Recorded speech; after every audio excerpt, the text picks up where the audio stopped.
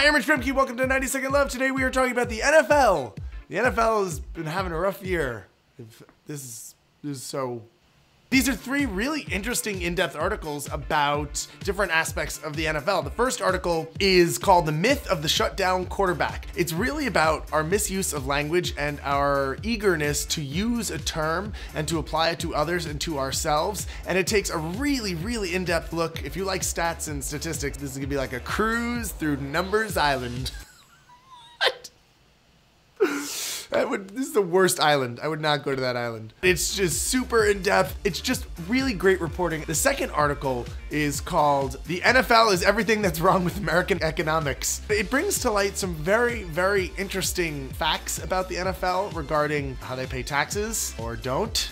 And I was very surprised to hear that this multi billion dollar organization was not required to do some of the things that people who don't make $2 billion do. And this last article is called The Man Whose Crusade Could Change Football Forever. And it is the lawyer who is arguing on behalf of the players who have sued the NFL over concussions.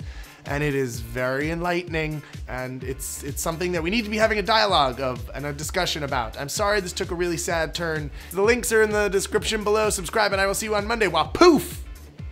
Oh, you can't even see that. Well, poof! Poof, poof, poof, poof. Um, it has a title. I'm gonna tell you what it is. this is my Miss Piggy sound. Is that a surprise to you that I don't make two billion dollars? You can say it is. Um, what is it? What's the last thing? We can turn it up, Tur- but don't turn it down. I mean, for really, for what? S- stupid.